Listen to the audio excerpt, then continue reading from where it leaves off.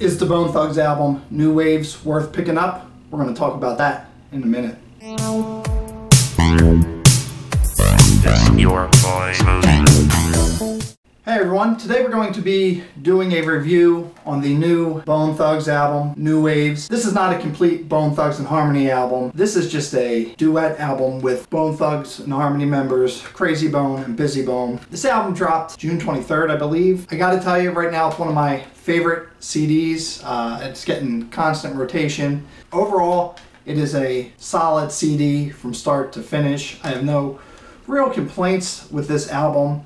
I will say right off the top, the first thing that you may be expecting if you're a fan of Bone Thugs and Harmony, especially Bone Thugs and Harmony pre 2000s, the sound, the flow is there, but the content is not, you're not going to get your typical thug music, if you will, from this album, but what you are going to get is some good, updated, refreshed flows and lyrics. Overall, it's it has somebody pointed out to me, it has a very poppy feel, but but that's all right. It's it's really a feel good album. We talk about the title here, New Waves. To me, the first time I heard Fantasy, it has almost like an 80s new waves pop type of feel to it throughout the whole album, and that's what I think uh, makes it such a great album overall because it's a fun album. You can put it in, you can listen to it, and you can just you know jam out to it front to back. So real quick, we'll get into it kind of track by track here.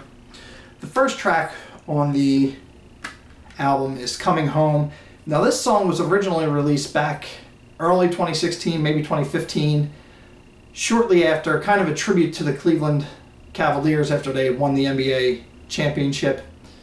They kind of released this song and it had a completely different beat. Featured Layzie Bone as well on the track. For this album, they remastered it, remixed it. The verses are still the same, both Krayzie and Bizzy's. They added uh, Stephen Marley to sing the chorus, and it's it's just a great start to the album. It's that coming home, they're been in the game well over 20 years. They're trying not to lose sight on their roots and where they come from, which is Cleveland, Ohio. The second tra- track, If Heaven Had a Cell Phone, and keeping with the tradition of and the success of songs like The Crossroads. It's kind of a, a, reflection track, you know, wondering if, if heaven had a cell phone, you know, Krayzie, He opens up saying you know, call up God and say, you know, forgive us for the, the madness that's going on here. It's things are getting out of control. Bizzy, you know, kind of echoes that sentiment while also making mention to Eazy in the song. You know, if they could just talk to him one last time, have that one last conversation with their friends and family who've went on ahead of them, you know, just to touch base and see how everything's going. So that's a, another great song. Good Person. Again, this is featuring an artist, Joelle James. I'm really not sure who she is. But it's a song, and a lot of us feel this way. I know I feel this way sometimes. Trying to judge myself, like, you could say you're a good person, but does that make you truly a good person? Is it just your actions, or, or is it more than your actions? And they're just, you know, seeking truth. Like, you know, am I a good person?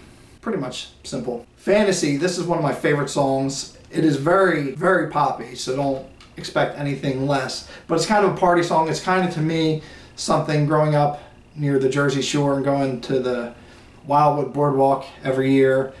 You would hear like these kind of songs just playing, echoing nonstop. It has a summer vibe to it. Uh, you would hear it coming from all the, the stores. So that's definitely a, a good song. Just uh, trying to, you know, hit on some girls or whatnot. It's a good song. That girl kind of is a reflection of their better halves and significant others. But Krayzie, I believe, he just got married recently. And I think it echoes that sentiment to, you know, Today, Junior? That age old uh, saying for every good man, there's a, a strong woman behind him. You know, wouldn't be anything without the support of our women, of course. Let It All Out. This is featuring Jazze Pha. I think the song's great. The one, my one problem with this is Bizzy's not on the song. It's just Krayzie and Jazze Pha. But pretty much, it's kind of, again, another song you can kind of relate to if you've ever had that mood where you don't want to be bothered by anybody, you just want to you know, go away by yourself and just, you know, let it all out. Just take a breather, refresh, and reset yourself. So let it all out. Good track. Just missing Bizzy. I don't know why. Waves. This is what you could say your OG Bone Thugs and Harmony song because it features all the members of Bone Thugs and Harmony, and it's kind of a smoking song if you're into that sort of thing. Uh, just talking about how, you know, they're on these new waves and they're just trying to feel the vibe. It's a new time frame, obviously, in hip hop music and they're still trying to very underrated nowadays. Some people haven't even heard of Bone Thugs and Harmony. Now they're true pioneers in the hip hop game, and they come from that golden era, which they mentioned later on in a different song. They're still riding it, and they're still getting paid, and they're still making their living, and they're just really feeling it. You could tell, very cohesive overall. Overall, the flows between the members, it's great track.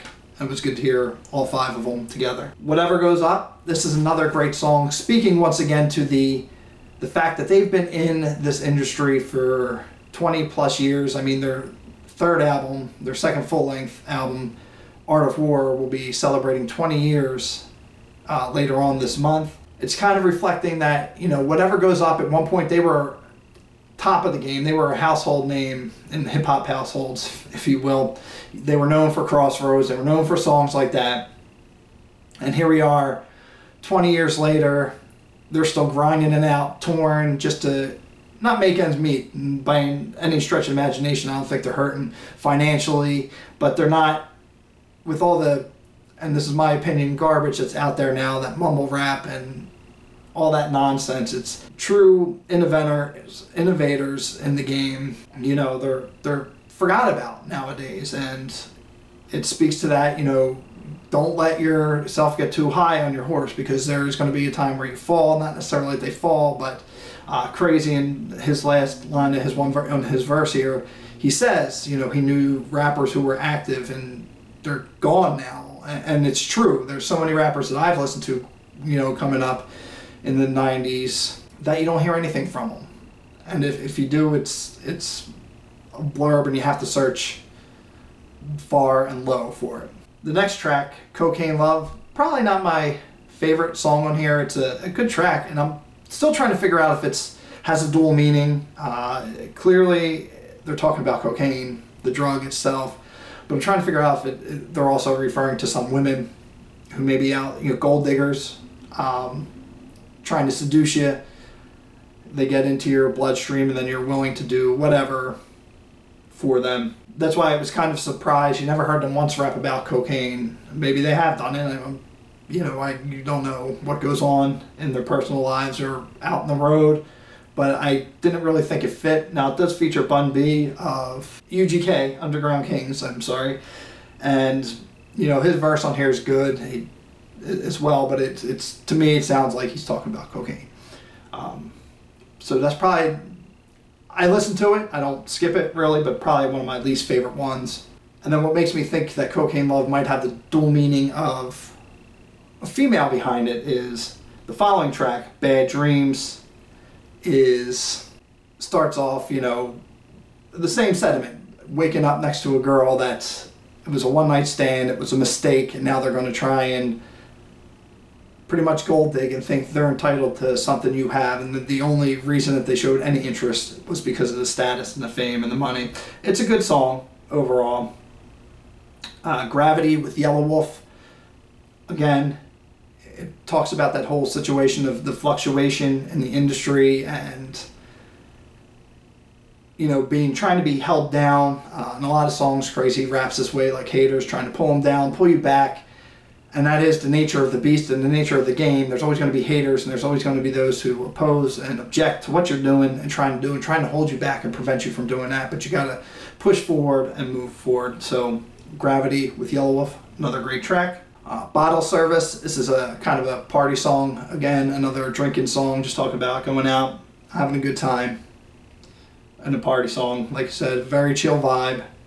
Very, to me, 80s reminiscent changed the story. They just released a video for this song as well. They have videos for Coming Home and If Heaven Had a Cell Phone. They just released this uh, song for, or video for Change the Story.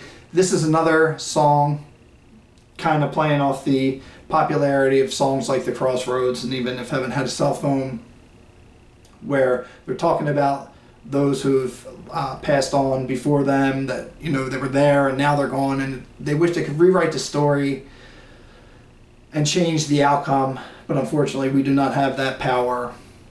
But if they could, they would just to, to rewrite it and maybe have those who they lost, whatever the situation or the reason may be, rethink their actions and rethink their thoughts so that in this present day they could be still riding along with them. Ruthless. This features Layzie Bone and Flesh and Bone, the final track before the bonus track on the album. Uh, it's pretty much a, a tribute song to Eazy-E and letting them know that without him, without the time frame which they came into the game, there would be no Bone Thugs and Harmony, period. They may have had their ups and downs with their former boss, Tomica Wright, which was Eazy's uh, wife, but they've kind of put that all aside. They're always and will forever be eternally grateful for Eazy and for what he did. And they just show that, reflect that here, saying they'll be ruthless till the day they die, no matter what label they're on. They're going to ride for E. And they got his back when naysayers and doubt talkers and trash talkers may be popping off about them. They'll be there to defend the name of Eazy-E. And the final track on the album, Don't Let Go, this is the CD bonus track. There were, I believe, a couple other bonus tracks uh, specific to digital and the physical release. Don't Let Go, it's, it's another feel-good party type track, pretty much talking about you know, closing out the sentiment that was echoed throughout here in terms of people are going to hate, but keep doing you. You only got one life. You know, do do you have fun with it? You know, within means, of course. Um, but and don't let it go. Don't let it slip. Don't get dragged down by the haters and the naysayers. Just keep doing you and push on forward and enjoy it. So I think it was a good close to the album. And it was a good close to this album. That's yeah. So that has been the review for Bone Thugs New Waves. My final thoughts on it. Like I said, I've been pretty much every day, at least some of the tracks I'm listening to. Uh, I'm really feeling it. It has a summer vibe, and that's the you know the month we're in for me. It's really just good to put the windows down in the car and just just knock to it. Um, not much I can say negative about it. Uh, the only really two things that I could speak on are the three things, a few things. Um, one, the track where Bizzy's not on it, whatever that happens, I guess. I, I don't know how I missed being on one of the tracks on their duet album. And a lot of extra features. I don't mind the Bone Thugs and Harmony features and, you know, these other ones, but if you're going to have the features in there, um, make the songs a little bit longer. I, I feel it was very short. I don't even think the album comes in. It's I think it falls under 50 minutes uh, total playtime. I think it could have been longer. I think they you know could have did more Krayzie Bizzy, Krayzie Bizzy. But I'm not going to complain because I'm happy to get this. I had mentioned in my unboxing video that this is a an album and a collaboration, a duets project that many of the Bone Thugs fans have been waiting for for many years, and we got it. So I'm not going to complain. I enjoy it. If you're looking for that old school Bone sound, you're not going to find it here. Like I said, the flow is still on point. The style completely different here, and they were going for that. That's new waves. They're trying to make new waves. Ripple, you ripple out, ripple, make new effects, whatever the case may be. Pretty, pretty clever if you ask me. So it's my review of New Waves, the Bone Thugs album. Let me know in the comments below uh, if you've listened to this, what some of your favorite tracks are. And also let me know, this is really one of my first reviews, CD reviews. Uh, let me know how it was, what I can do to improve on them in the future, maybe make it shorter, maybe not go track by track, just give an overall summary so you can jump right into the album. I don't know, but let me know in the comments below, all that good stuff. But most importantly, let's have a discussion about this album and what your, your thoughts are on it. And stay tuned. I do have uh, another review coming soon of the Young Wicked album, The Return of the Prodigal Son, and also I'm going to do around the day, like I mentioned earlier in this video, The Art of War turns 20, I believe July 27th, so I'm going to try and do a, a retrospective review of that album and hopefully get it released on the day that the album was released so you can look forward to that as well. But thank you for tuning in. I do appreciate your support. If you haven't done so already, it would mean a lot to me. Go ahead and hit that like button. If you're new here, welcome. If you've enjoyed this video, Please subscribe. I have many other types of videos. I do a daily vlog. I'm going to be doing more CDs and movie reviews upcoming. I do unboxings. I do all kinds of stuff. I have so many ideas and plans for this channel, so you'll want to stick around for that. I'm only going up from here. We're going to beat that gravity. The haters can't bring me down. So that's going to do it. Thank you for tuning in. I want you all to have a great day. Take care. God bless. Stay smooth. And we will see you on the next review.